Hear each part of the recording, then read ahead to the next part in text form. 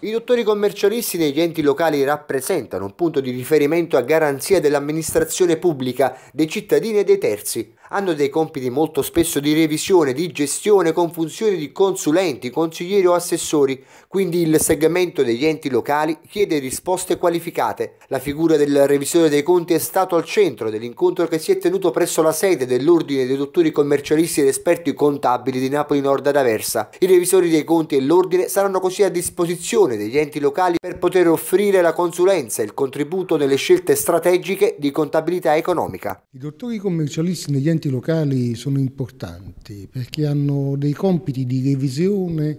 che sono a garanzia dei cittadini e dei terzi. Hanno dei compiti molto spesso di gestione perché molto spesso i dottori commercialisti hanno funzioni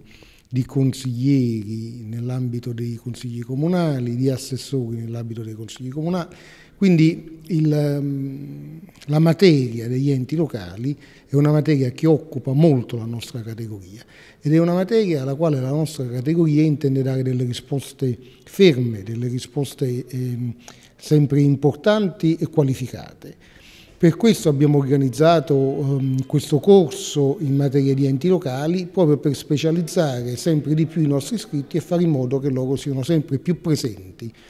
in tutte le amministrazioni pubbliche e siano sempre garanti della trasparenza nei confronti dei, dei cittadini innanzitutto e anche dei terzi. Inizio un corso molto importante eh, anche perché dopo una eh, serie di convegni che noi abbiamo fatto e di approfondimenti su vari argomenti eh, abbiamo istituito abbiamo organizzato questo corso proprio per sia per gli amministratori degli enti locali sia per i professionisti che si interessano degli enti locali. È un corso importante, un corso nel quale andiamo ad approfondire determinati argomenti, un corso nel quale andiamo ad approfondire determinate problematiche e dopo questo corso, ma eh, non solo dopo questo corso, noi ci poniamo siamo eh, a disposizione degli enti locali per poter dare la nostra consulenza, per poter dare il nostro contributo, per poter dare la nostra esperienza professionale, soprattutto oggi che gli enti locali si avvicinano molto a quello che è la nostra attività professionale con la contabilità economica, eh, contabilità economica che noi curiamo da decenni e che è il nostro core business e quindi diciamo che eh, si trovano un attimo non organizzati per poterla seguire, noi invece è la nostra attività principale professionale per cui possiamo dare un contributo molto valido valido e concreto. Inizieremo il corso di revisione enti locali per l'anno 2016,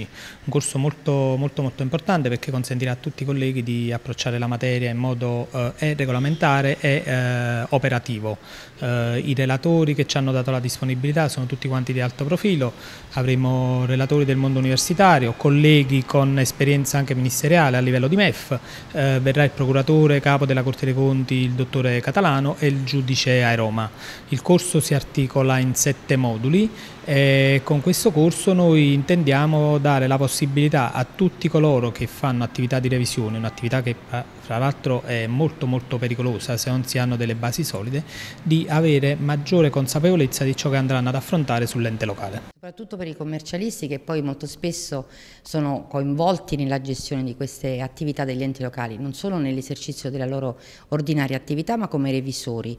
L'approfondimento di oggi è proprio legato a dare diciamo, delle indicazioni su quello che è lo scenario di contesto, capire perché c'è questo ruolo così eh, pregnante e importante del dottore commercialista. Tutto dipende dall'attuazione di leggi delega che hanno stabilito dei nuovi principi contabili che vanno osservati ed applicati in funzione di rendere quanto più trasparente e comprensibile la lettura dei bilanci. Tutto questo si dovrebbe diciamo, eh, avere come contraltare anche una maggiore rappresentatività di quelle che sono poi le missioni e i programmi che vengono svolti dagli enti locali. Se tutto funzionasse a regime, attraverso la lettura del bilancio si potrebbero comprendere il raggiungimento dei risultati, che quindi è quello che poi è l'oggetto di monitoraggio e controllo da parte del revisore, rispetto alla missione, quindi al programma che è stato conferito anche dalla rappresentanza politica. Una economicità di tempo e per dare maggiore spazio alle relazioni tecniche